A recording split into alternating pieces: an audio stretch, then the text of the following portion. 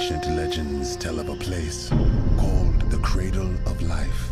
It is the source of all life and also of death. There lies a power that no man should ever hold.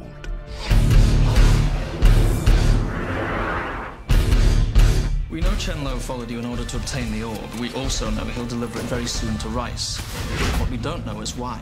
That terrifies us. Pandora's box. A weapon more powerful than you could ever imagine. On behalf of Her Majesty, we formally request that you find and recover this box before Dr. Reiss. Well, now that I have Her Majesty's permission.